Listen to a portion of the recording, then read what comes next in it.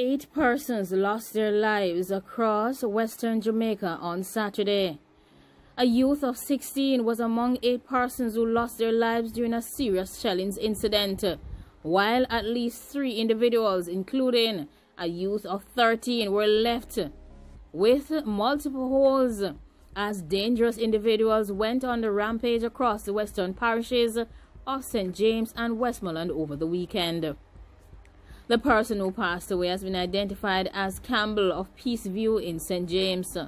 According to the police reports, at approximately 5 p.m. on Saturday, the two youths went to a shop in their community when dangerous individuals who had dangerous tools entered and opened shellings. Both of these youths were hit. They were taken to the hospital where Campbell was pronounced by the medical team and the other youth of 13 was admitted in serious condition. Based on reports, residents refused to say anything about the matter.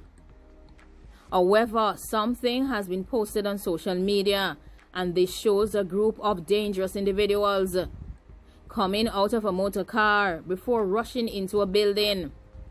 The building has been identified as the shop where the two youths were harmed.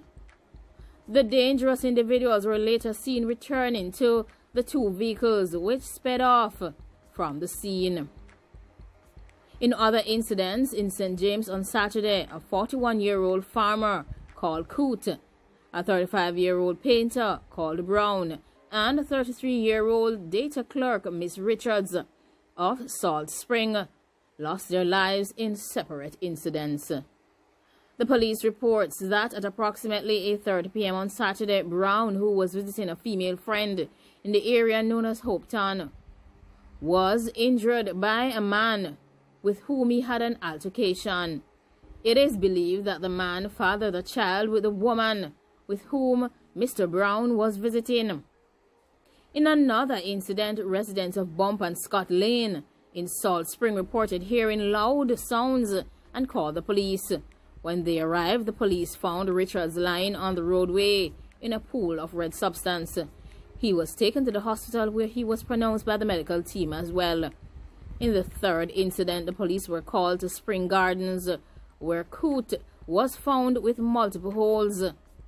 In Westmoreland, Arsino Sams, 28, and Devon Mosley, 34, both of Groveland Mountain in Negril, and 59-year-old laborer Winston Williams of a Grange Jail address and an unidentified man were harmed by dangerous individuals on Saturday.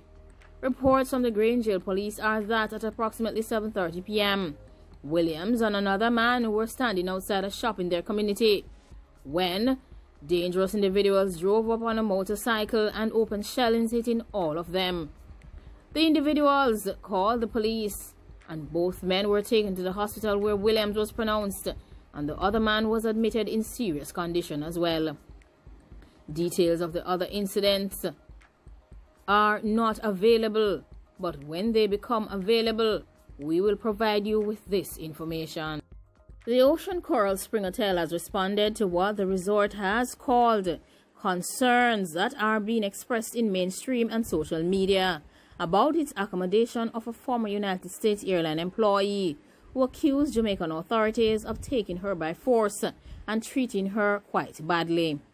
Former JetBlue Airlines employee Kalina Collier was later dismissed by the airline after it emerged that she had fabricated the story.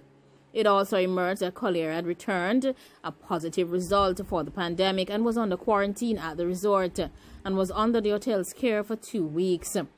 Ocean Coral Spring has mentioned that they are aware of the recent reports at the resort located at Coral Spring in Trelawny, northwestern Jamaica, but insisted that it did no wrong.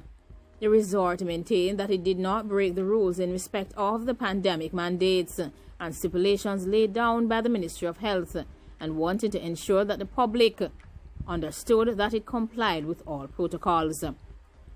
The Ocean Coral Spring has observed and continues to observe the highest pandemic health and safety protocols, complying with international best practices and the specific protocols outlined by local authorities.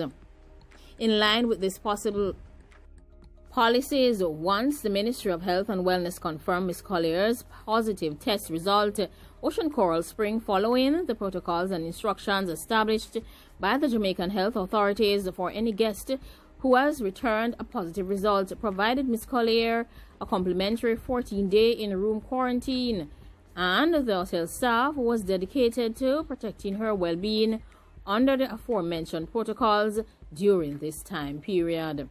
To respect and protect the privacy of Ms. Collier, as we do with all our guests, Ocean Hotels refrain from making any public comments on the matter during the time period. We welcome the thorough explanations and clarifications on this matter from the Jamaica Constabulary Force, the Ministry of Health and Wellness, and the Ministry of Tourism, comprehensively putting aside these malicious rumors. We would like to express our gratitude to the Jamaican government and our full support to the health protocols Jamaica has put in place to mitigate the issues related to the pandemic. Ocean Hotels remains committed to protecting the health and safety of all our guests and team members as we provide world-class service, accommodations and amenities commensurate with our status as one of Jamaica's leading resorts. Like, comment, share and subscribe. Let me know what you think about all of the matters that have been discussed in this session. What of those eight individuals who lost their lives on one day? On the day dated Saturday, March 6th, 2021. Of course, we express our condolences to the family of these eight individuals and we also hope that those who are in the hospital will have a speedy recovery. And not only that, that when they return from the hospital, that they will be safe from harm and danger. Thanks for watching. Remember to be vigilant and have a good day and goodbye.